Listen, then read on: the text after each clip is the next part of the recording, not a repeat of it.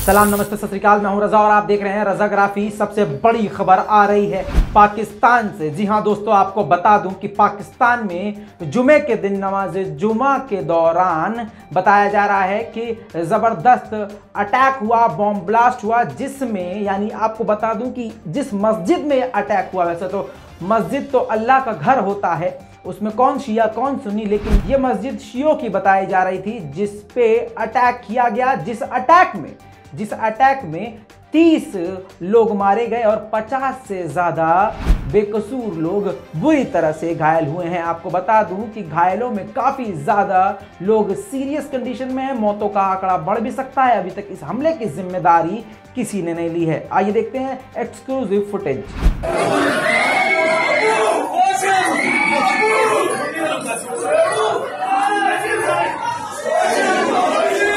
दोस्तों, माफ़ कीजिएगा, आप फुटेज विचलित करने वाली है, इसलिए हमने इसको साइड में करके ब्लर कर दिया है। बता दूँ, लाशें चारों तरफ़ मस्जिद में देखी जा सकती हैं।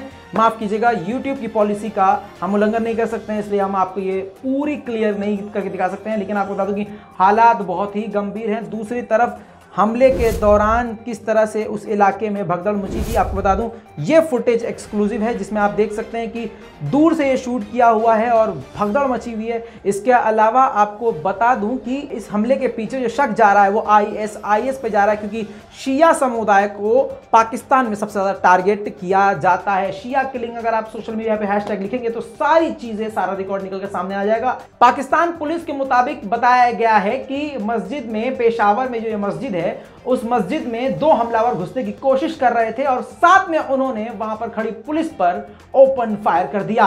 उस हमले में एक पुलिस वाले की मौत हो गई और कुछ ही देर में ब्लास्ट हो गया। दोस्तों, तालिबान की सरकार जब से आई है, अफ़गानिस्तान में भी इस तरह की जानकारियाँ आपके सामने आती रही हैं, खबरें आती रही हैं कि किस तरह से शिया समुदाय को लगातार अफ़गानिस्तान में भी टारगेट किया जा रहा है। दोस्तों, ये बड़ी अजीब बात है और ये मुसलमानों का अंधापन है कि वो अपने ही दूसरे हिस्से को निशाना बना रहे हैं। मुसलमानों की ये सबसे बड़ी भूल है।